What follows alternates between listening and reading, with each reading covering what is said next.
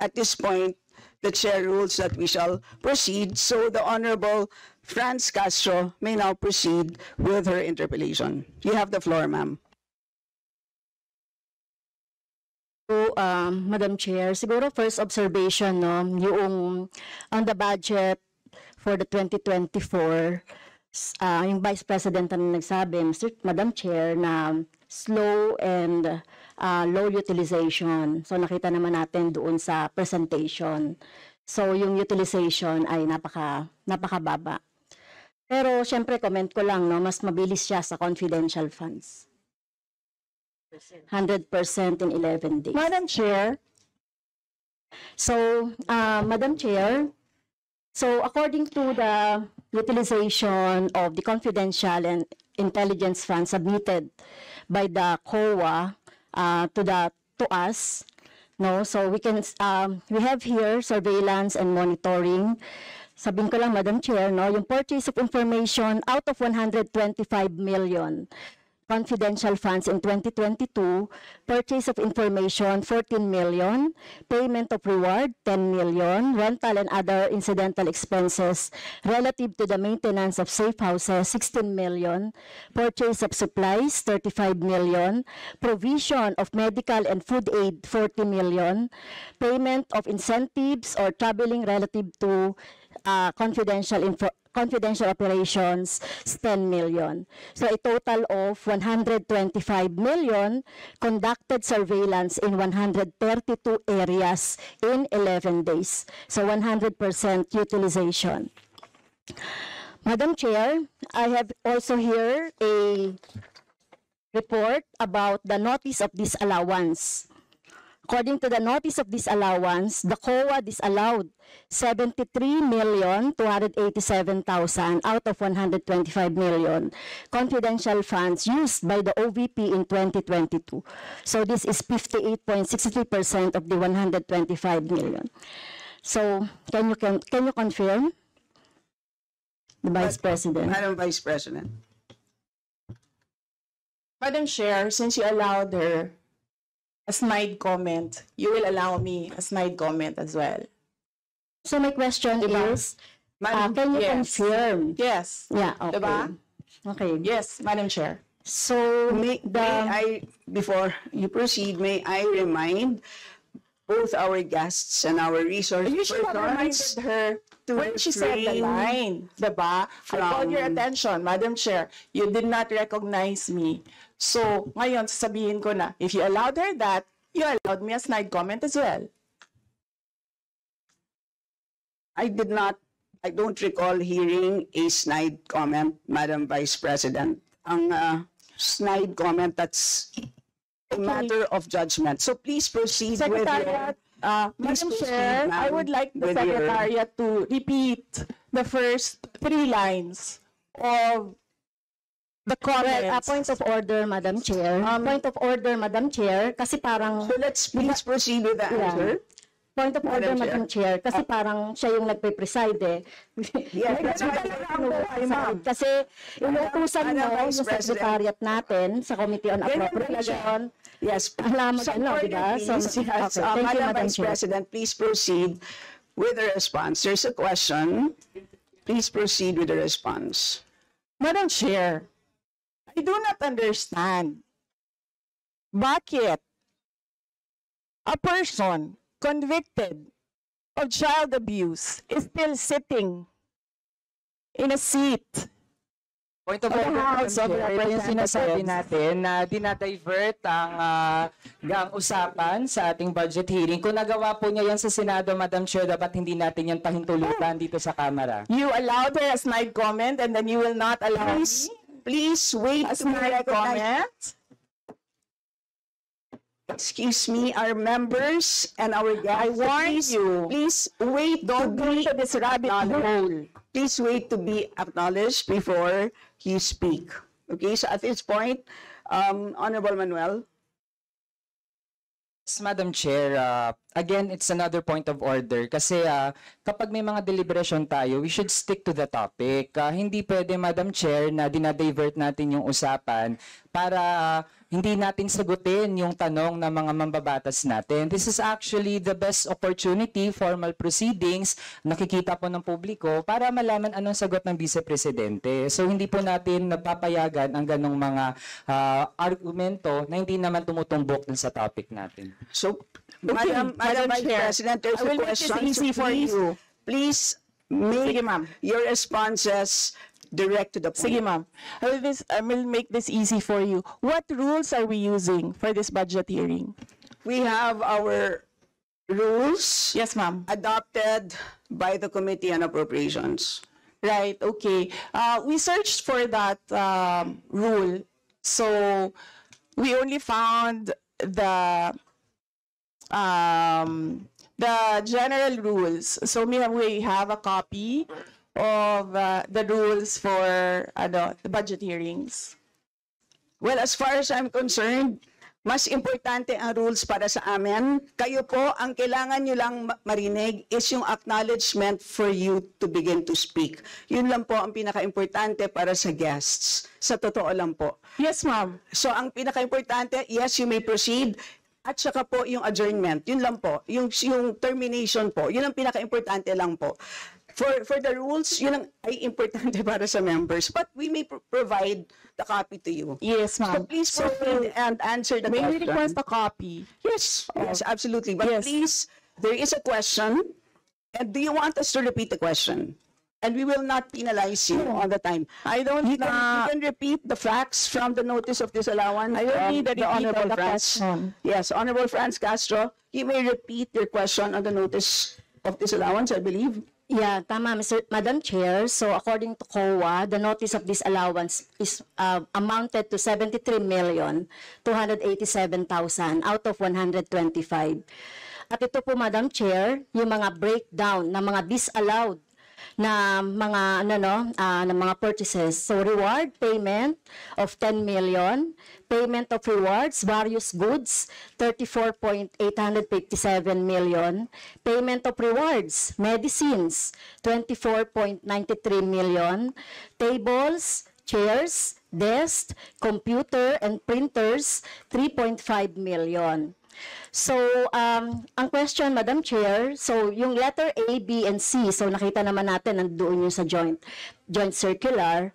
Um, how about yung ito, no? Um, how about yung mga tables, chairs, desktop, computer, na umabot po ito sa thir- 3.5 million.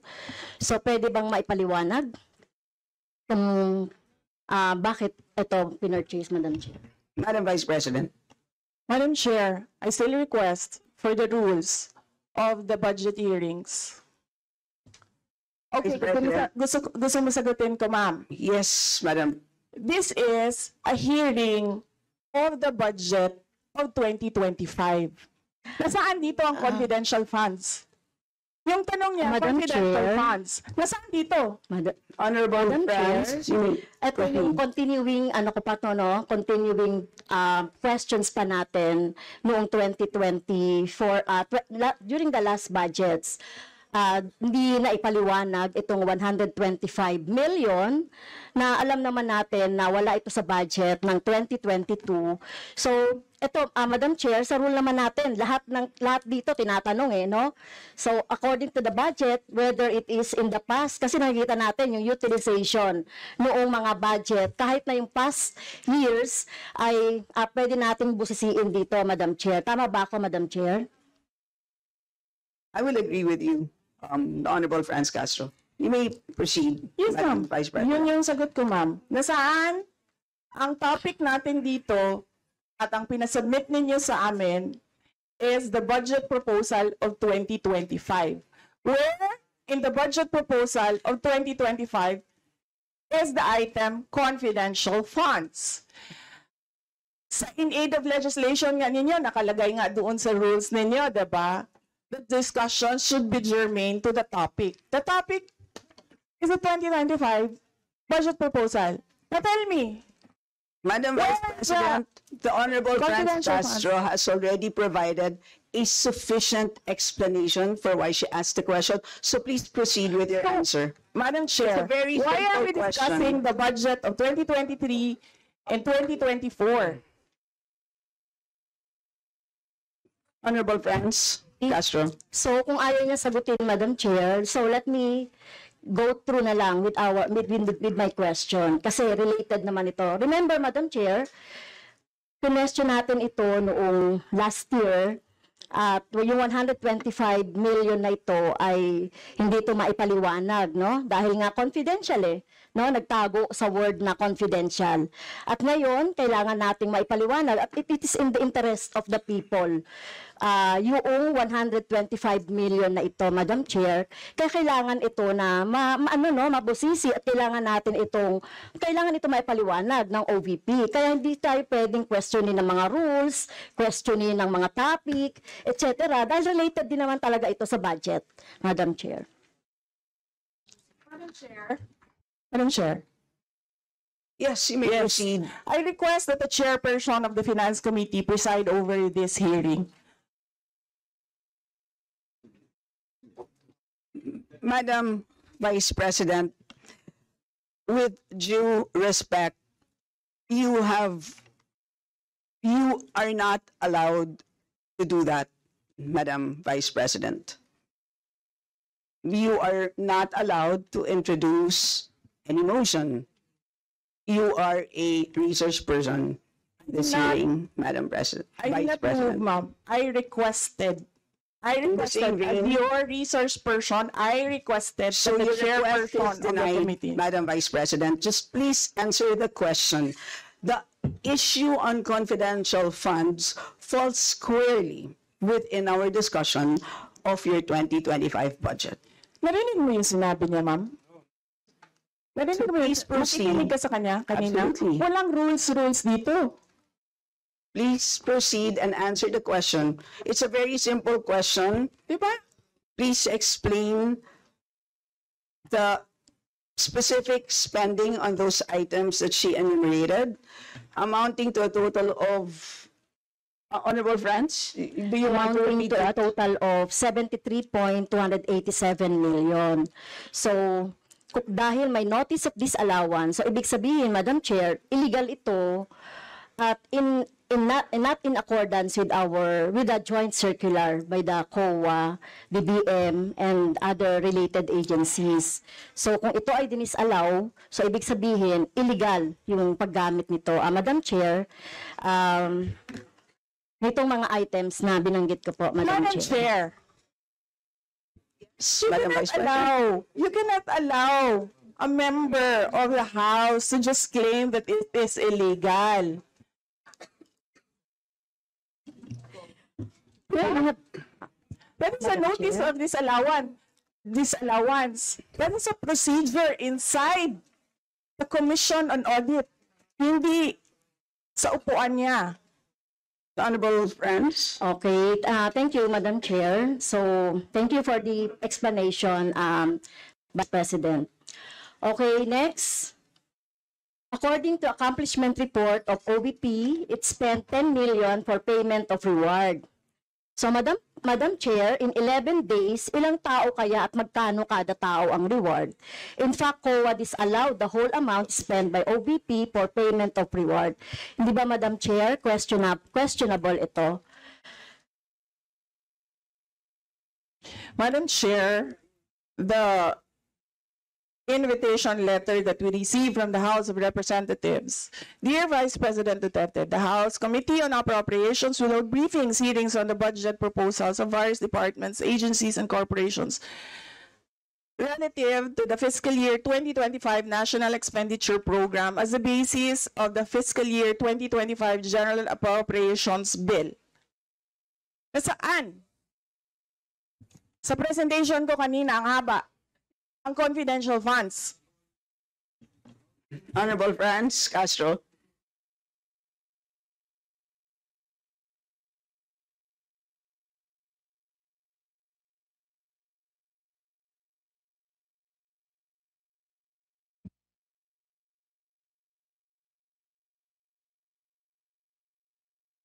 can we request our technical people to fix the mic?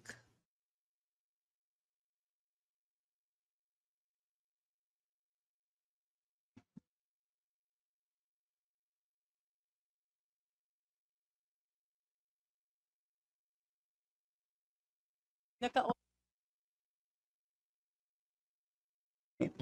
Can e- everybody check their mics and make sure that they're switched off? Para maka switch on yung si Franz.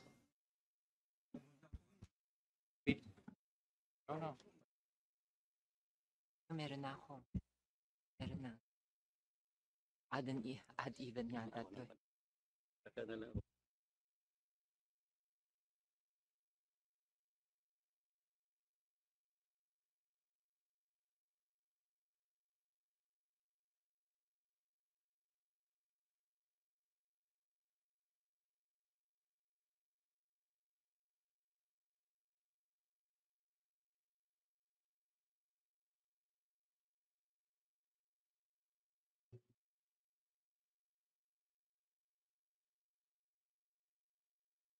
Madam Chair, point of order lang ulit, Madam Chair.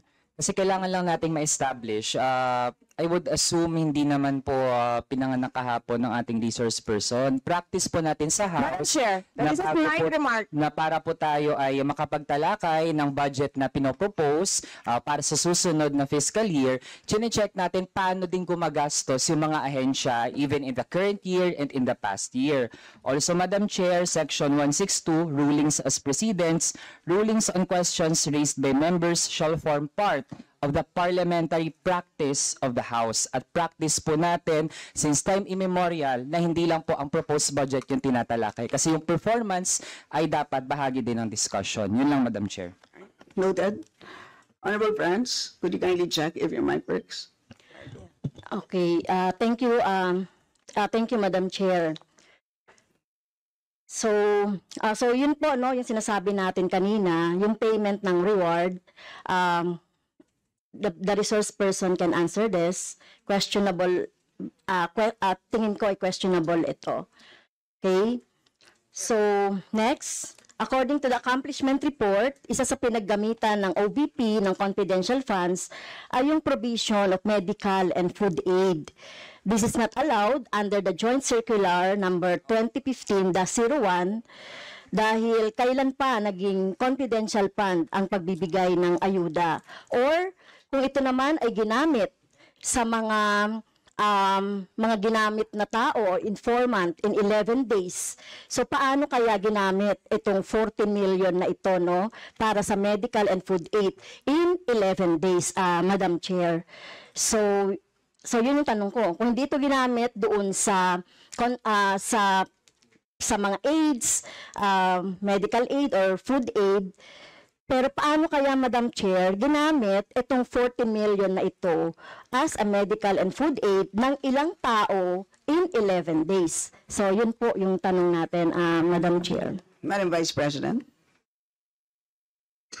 Madam Chair, the subject of this hearing is the OVP 2025 budget proposal. We do not have an item of confidential funds in the OVP budget proposal. Honorable Franz? So, may I continue, Madam Chair? Isa sa bumubukol na confidential fund ng OBP noong 2022 ay nasabi ko na, Madam Chair, yung medical and food aid at saka yung mga purchase of supplies. According to the accomplishment report, the OBP spent 40 million no, for medical and food aid in 11 days. So, ang ibig sabihin nito, Madam Chair, um, konting math, pumapatak na 3.64 million kada araw ang gastos no para sa food and medical aid. So hindi natin ma maintindihan Madam Chair paano ito ginastos ah, in 11 days no. It's 3.64 million kada araw dito sa um, item na ito. Madam Vice Do you want to President? comment? I Madam did not Vice call President? you. I did not call you, ma'am. It was Representative Arroyo who called you. We, the the chair would like to remind both the resource persons and the members to please wait to be acknowledged before you speak. Yes, ma'am. So, Tinawag you mean, ako. yes, For what, ma'am? to respond. So any comment, ah, Madam Chair, dun sa sinabi natin ah, based dun sa, sa accomplishment report, at So, kung gagamitan natin ng konting math, 3.64 million kada araw ang gastos para sa medical and food for 11 days. For how many people ba itong ito? Madam Chair, the topic and the invitation of the House of Representatives to the Office of the Vice President for this hearing is the 2025 budget proposal. There is no confidential funds in the 2025 budget proposal. For, for the information of the body, the letter that we sent, our Madam Vice President, reads as follows. Um, in the second paragraph, um, we noted the following topics to be discussed. Um, item number three is comparative budget allocation and utilization rate from fiscal year 2019 to 2023. That's item number three. So I can provide you copies of the letter. So clearly, confidential funds spent in 2022 falls squarely within that. So yes, Honorable Francie may proceed. Yes, ah, Madam Chair. So, mukhang hindi na tayo sasagutin ng ano no, hindi na, tayo- hindi na ako sasagutin ng ating Vice President. So, sa bawat sagot kasi na ganyan ng ating Vice President, ah, for the record, since ayaw magpaliwanag ang BP, so ibig sabihin nito, yung paggastos ng 125 million ay na, na, na pera ng taong bayan ay hindi maipaliwanag. So, yun lang, Madam Chair. Kaya hinihiling natin sa Vice President o OVP na kailangan kailangan na maipaliwanag itong mga ah, sinasabing item dito. Anyway, Madam Chair, sa kanila naman ang galing no, yung ah, utilization at confidential and intelligence fund. And of course, ito lang naman ang hawak ko din dito, yung notice of disallowance. Kaya gusto talaga nating maintindihan, Madam Chair, kung ang notice of disallowance ay, so syempre, papaliwanag pa nila yan, kung paano, 'di ba? So kailangan malaman din ng taong bayan na sila yung nag ano no, nagbab- nagbibigay ng pondo para sa operations ng OVP at lahat ng mga agency. At kailangan yung maipaliwanag. So hindi pwede yung ganyan na um, ah, um, yung tactics na ganyan na parang ano no, parang sorry for the pusit na kapag nasusukol na ang pusit ay nagaano ng ah, maitim na tinta. So ayaw natin ng ganun, Madam Chair, kasi yung atin namang pinag-uusapan dito ay budget. No? So wag naman mag, mag ano na mag-ugaling pusit ang Office of the Vice President. Madam Chair, may I? Uh, May I point of information only, Madam Chair? May I? Uh, Madam Chair, Uh, no, sorry, um, wait, um, before, before you, uh, I'd like to, before we proceed to the next, uh, person on the list, I believe that our former president, uh, Gloria Macapagal Arroyo would like to interject. observation made um, in relation to the point of order because in the beginning, uh, it was settled that the issue would be the 2025 budget. And in all our hearings, to what I recall, uh, when we want to question something about performance, we question the 2024 budget, not the 2023 budget. What is being questioned now is the 2023 budget, which was discussed very uh, extensively last year. And that is the reason why the House removed the confidential funds. So that issue has already been, to my mind, for purposes of the budget hearing, laid to rest. So that's my observation, Madam Chair. We, we note that, uh, um, Madam former President, but uh, of course, we know that um, yung pong pondo ng 2023 ay, uh, of course, pwede pa rin maging conti- continuing uh, appropriation hanggang 2024.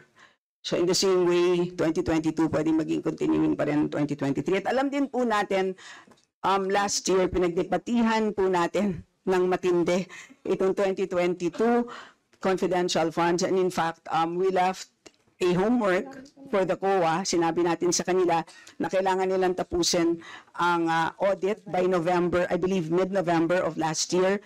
And since then, hindi na natin alam kung ano nangyari. So that's the reason for why um, tinatalakay natin ito. And uh, it's a big amount of money. I believe uh, we owe it to the people to understand uh, what happened. Of course, tinanggal na natin noong 2024. Gusto natin malaman, tama ba yung ginawa natin? Kasi baka naman nagkamali tayo.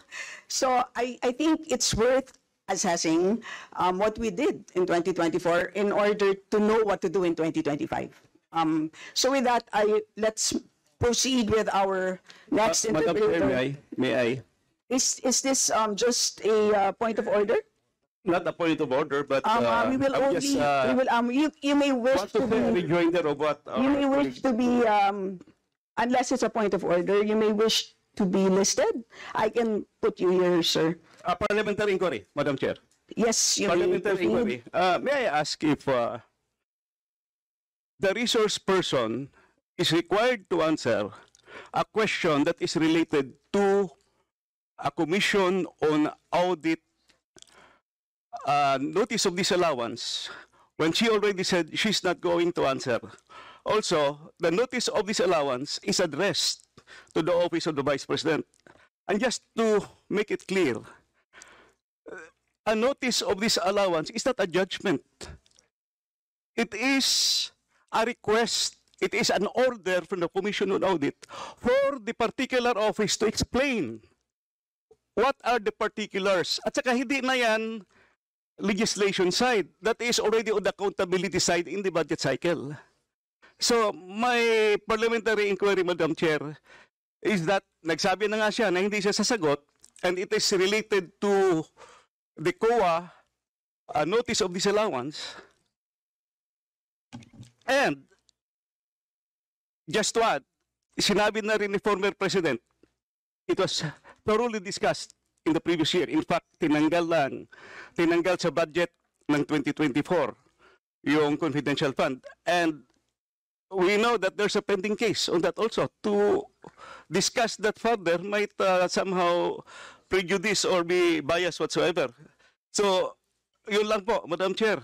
All right, salamat. Um, on your inquiry, the only requirement is to provide a direct response um, on the question. Meaning to say, a response that is directly related to the question. Meaning to say, kung may question, at ayaw niyo pong sagutin, sagutin niyo ng diretsahan na hindi po ako sasagot dun sa tanong. Ang problema po kasi, ang response ay naging hindi related dun sa tanong. Halimbawa, may tanong, ang sagot ay paglalarawan doon sa nagtanong. So hindi naman yon klaro na hindi yon um, directly related dun sa tanong. Kaya, yun po, I think it's a reasonable ask. If there's a question, you may or may not answer. You're not compelled. But you just please say, I do not wish to answer. That's it. At, at least we know it's a direct response. And with that, we move to the next Madam um, Chair, person on the list. Um, Madam that Chair. This, uh, Madam Chair. Hindi na po tayo matatapos. yan ang sinabi ko sa iyo kanina. Ayaw mo maniwala sa akin eh. Aabot talaga tayo ng ah, bukas dito. 'Di ba? Madam Chair, Is this an inquiry regarding, he said, yes, and Yes, please. I remind also our Yes, ma'am. resource persons to please act in a respectful manner. Pasensya na po, um, hindi po kasama sa poder ninyo ang pagpa-fire ng presiding officer ng hearing na to. So Yes, yes, So if you allow members of the House of Representatives lines like what you just said, like pusit, bakit mo ako kinukrucify for saying a fact that somebody is convicted of child abuse sitting in the chair? Pusit, and then I cannot fire chair, the presiding chair. So bakit? Yes, we Bakit napaka one-sided nito, ma'am? noted po. Dahil ba madami kayo dyan sa kabila at nag-iisa ako dito? We note all your comments, ma'am, and let us now proceed. Thank you, ma'am. Thank you, ma'am. Madam Chair, point of order. Yes, uh, the Honorable Benny Abante. I just came in, uh, I hear this. We're not talking about the budget, we're accusing each other here. I'd like to find out from the resource speaker, uh, if this is the kind of hearing that we're going to have. Sir, I am not the presiding officer of this hearing. I know, Yes, sir. but the thing is, you're asking questions, Madam Chair. The, the so Madam? speaker does not have any right to ask questions. Or do you have? Where is that M- Madam Vice in your President, rules that Madam Vice this person is a budget hearing. request for Please, clarification? Some order, please. Some order, please. Yes, Honorable Benny Abante, you may proceed. I'm just asking a question to our resource speaker. You know, because he's, she's asking a question and she's accusing some of the members of this committee.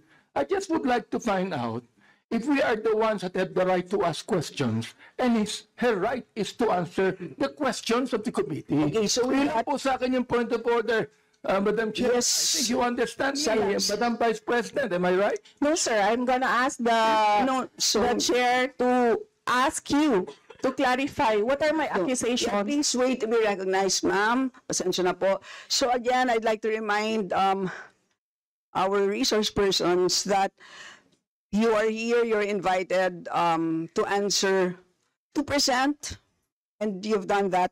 Thank you very much. And at this point in time, you're here to respond to the questions of our members, and we request you to please respond in a direct way.